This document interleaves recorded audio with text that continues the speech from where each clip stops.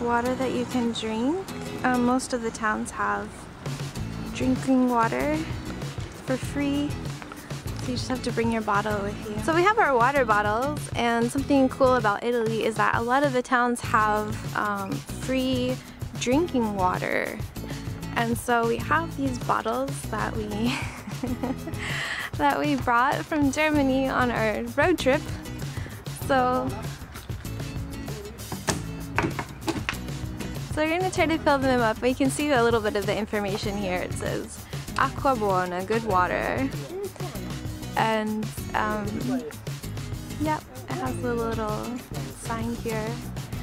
So this is how it works.